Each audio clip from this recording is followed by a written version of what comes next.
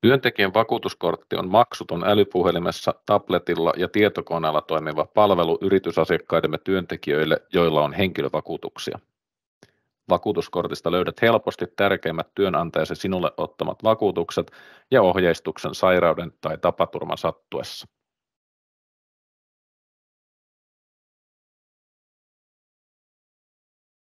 Työntekijänä pääset tämänkaltaiseen näkymään avaamalla työnantajaltasi saadun linkin.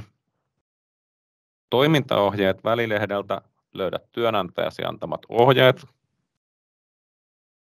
Ohjeita vahinkotilanteisiin Pohjola Vahinkoavun tuottamana sekä työterveyshuoltosi yhteydenottotavat.